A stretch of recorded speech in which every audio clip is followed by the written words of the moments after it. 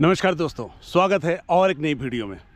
आज है महाशिवरात्रि और मेरे सभी व्यूअर्स को शिवरात्रि के ढेर सारी शुभकामनाएँ।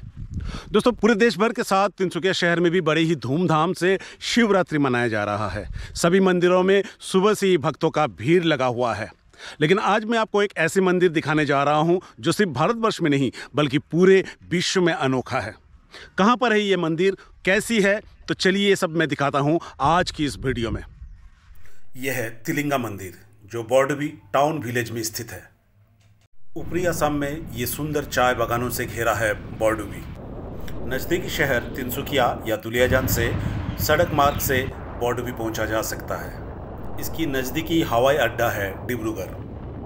तिनसुकिया टाउन से बॉर्डवी की दूरी है 17 किलोमीटर और दुलियाजान से है 8 किलोमीटर। इसकी नज़दीकी गाँव है केहांग हुगरीजान मोनकुसिटी स्टेट बौरजान गाँव, बिस्फुटिया गाँव और सावताल बस्ती। यह है बॉर्डवी रोड। ये रेल मार्ग से भी जुड़ा हुआ है और ये एक छोटी सी स्टेशन है जहाँ पर लोकल ट्रेन रुकती है और इस स्टेशन का नाम है बॉर्डवी रोड। यह है बॉर्डवी बाज़ार। और यहाँ पर साप्ताहिक हाट भी बैठता है। 2011 के जनगणना के हिसाब से बॉर्डवी के पॉपुलेशन है सिर्फ़ 2000 लेकिन अब इसकी संख्या काफ़ी बढ़ चुका है। यह है बॉर्डवी का हाई स्कूल और यह है हायर सेकेंडरी स्कूल।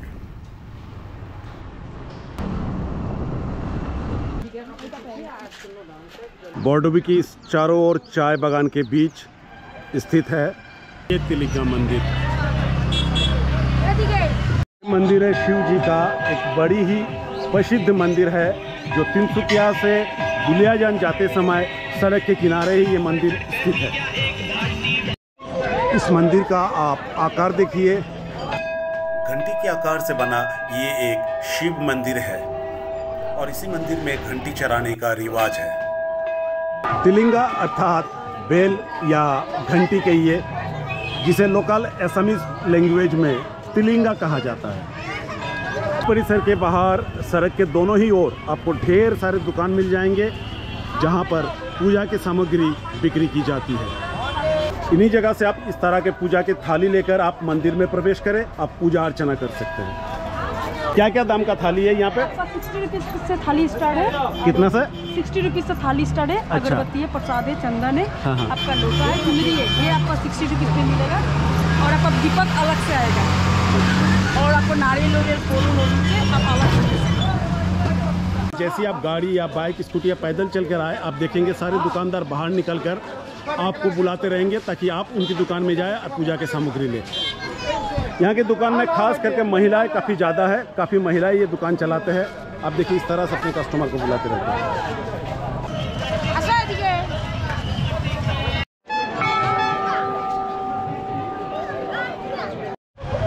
पूजा के हर तरह का चीज़ आपको यहाँ पर मिल जाएगी।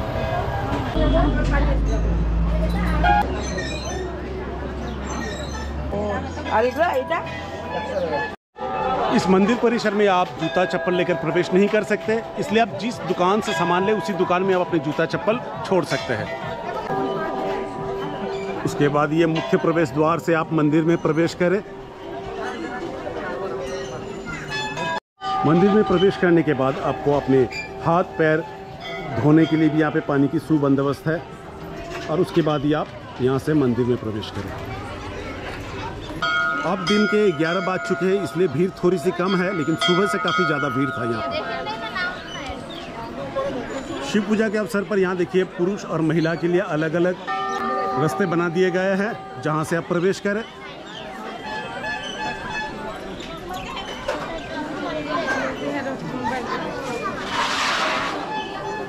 यह है मंदिर का परिवेश।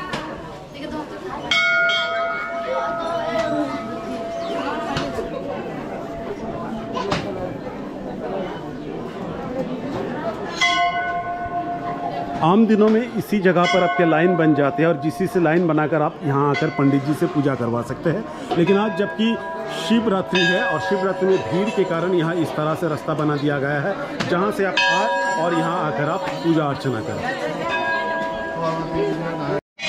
यहाँ के खास बात यह है कि आप साल के जब भी आए, आपको यहाँ पंडित जी मिल जाएँगे और पंडित जी से आप यहाँ पे पूजा अर्चना कराएँ। ये वही स्थान है ये शिवलिंग है और उसी पर ही दूध पानी चढ़ाया जाता है और शिव जी की आराधना की जाती है।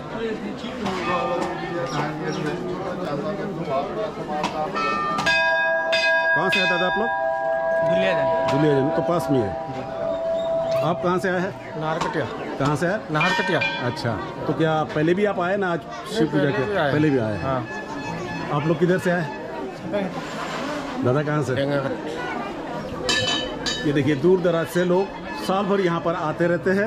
खास करके किसी भी सोमवार को भक्त का बहुत ज़्यादा यहाँ पे भीड़ होता है। पूजा अर्चना करने के बाद आपको पंडित जी आपको सारे विधि बता देंगे। आप धागा को मन का मना प्राप्ति के लिए यहाँ पर इस तरह से आप धागा बाँध सकते हैं।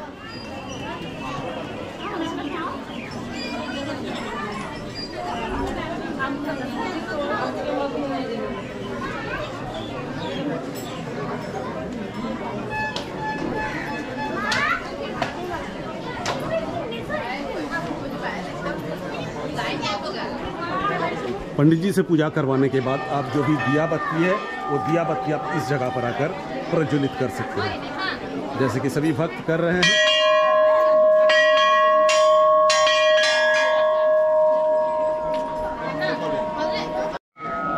पूजा के बाद नारियल को इस जगह पर आप फोड़े और नारियल का एक हिस्सा आप यहाँ छोड़ दें और एक हिस्सा आप अपने साथ प्रसाद के रूप में ले जाएँ। ये वही पीपल का पेड़ है जिसके नीचे से शिवलिंग प्रकट हुए थे। और यहीं पर ही शिव जी की आराधना की जाती है। चलिए मैं आपको अब भोले बाबा का दर्शन करवाता हूँ जो पीपल पेड़ के नीचे भोले बाबा को प्राप्ति हुई थे और तब से इस भोले बाबा का यहीं पर ही आराधना की जाती है।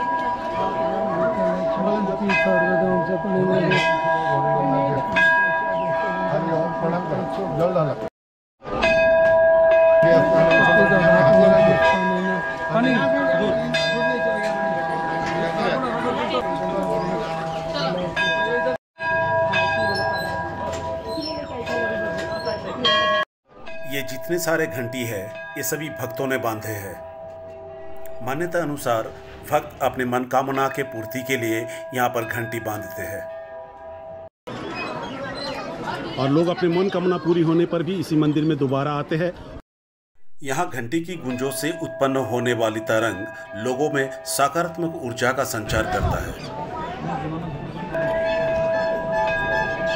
इस तरह से आप लाल धागे के साथ घंटी यहाँ पर कहीं पर भी आप बाँध सकते हैं। अब मैं बताता हूँ इस मंदिर की ऐतिहासिक कहानी क्या है। 1965 में जब एक मजदूर इसी जगह पर बागान में काम कर रहे थे, तभी अचानक उनको इस पीपल पेड़ के नीचे शिवलिंग प्राप्त होता है। और फिर उन्होंने बागान मालिक को इसके बारे में जानकारी देते हैं और फिर तब से यहाँ पे पूजा अर्चना शुरू हो जाती है। समय के साथ साथ इस मंदिर का निर्माण होता है और धीरे धीरे ये मंदिर इतना ज़्यादा प्रसिद्ध हो चुका है कि पूरे विश्व में ये एक अनोखा मंदिर है जहाँ पर इतने सारे घंटी लगाई जाती है। इधर आप देखिए, चारों ओर आपको सिर्फ़ घंटी और घंटी ही मिलेंगे। शुरुआत के दिनों में इस पेड़ के टहनियों पर घंटी बाँध दिया जाता था। लेकिन लोग इतने ज़्यादा घंटी बांधने लग गए थे कि पेड़ के टहनियाँ टूटने लग गई थी। दूध, पानी चढ़ाते चढ़ाते इस पेड़ का भी स्थिति बहुत ज़्यादा खराब हो चुका था। उसके बाद से इस पेड़ में और घंटी बांधने की जो रीति रिवाज था, उसे बंद कर दिया गया है और मंदिर परिसर के चारों ओर ऐसे स्थान बना दिए गए हैं जहाँ पर आप ये घंटी बाँध सकते हैं। जैसे कि आप यहाँ पर देखें। और पुराने हो जाने पर घंटियों का यहीं पर ही रख दिया जाता है। आप देखिए, एक, दो हज़ार दो हज़ार यानी कि लाखों करोड़ों की हिसाब से यहाँ पे घंटी है। ये सब चढ़ाया गया है। अलग अलग आकार के आप घंटी देख सकते हैं। सभी वक्त अपने अपने समर्थ के अनुसार यहाँ पर घंटी चढ़ाते हैं।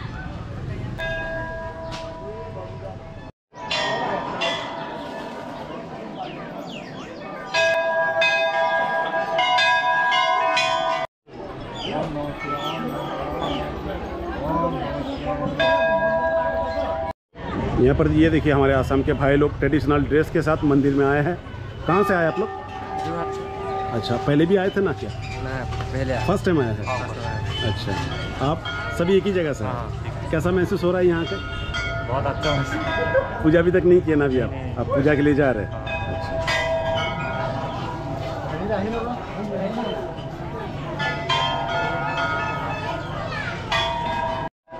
इस तरफ़ भी देखिए आप कितने सारे घंटे रखे हुए हैं।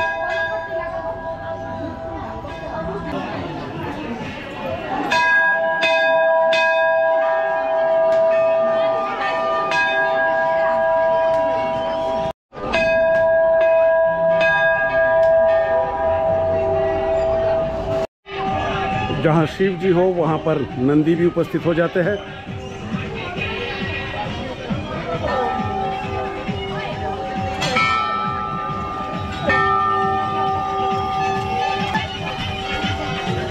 और पूजा अर्चना के बाद मंदिर के बाहर आते ही ये दिन दुखियों को मदद करना अपना भूलें इसी रास्ते से ही आगे जाने पर आपको मिलेगा दुलियाजन शहर। सामने जो आपको एक गेट दिख रहा है, उसके आगे से आ जाता है डिब्रूगढ़ डिस्ट्रिक्ट, जबकि ये तिलिंगा मंदिर आता है तिनसुकिया डिस्ट्रिक्ट में।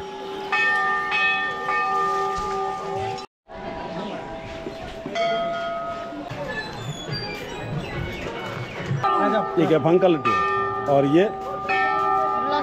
भंग का शरबत। यहाँ के दुकानों में आपको मंदिर का तस्वीर चाहिए और इस तरह के पूजा के सभी सामग्री आपको मिल जाएँगे।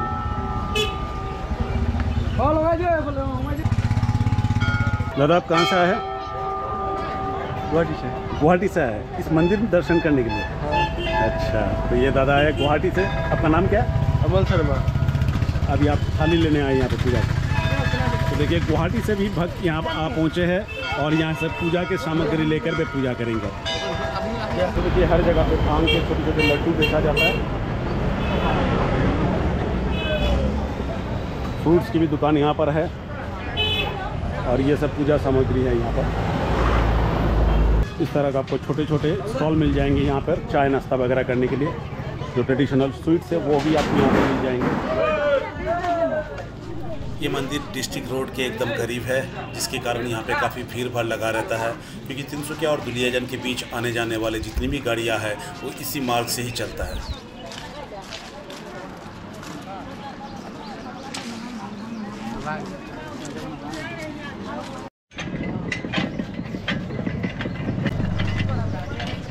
यहाँ के चाय बागान का ये हरियाली आपका मौन मोह लेगा।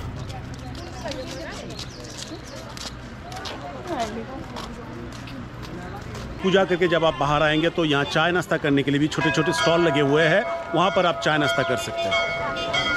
और इससे थोड़े से आगे आप जाएँगे तो बॉर्डवी जो टाउन विलेज है, वो आपको मिलेगा। वहाँ पर भी कई सारे छोटे छोटे स्टॉल आपको मिल जाएँगे चाय नाश्ता वगैरह करने के लिए। तो वीडियो को अब मैं यहीं पर समाप्त करने जाता हूँ। आशा करता हूँ कि आप सभी को ये वीडियो पसंद आया। और आप भी, जब भी सुविधा हो तो आप इस मंदिर का दर्शन करने ज़रूर आए। हर हर महादेव।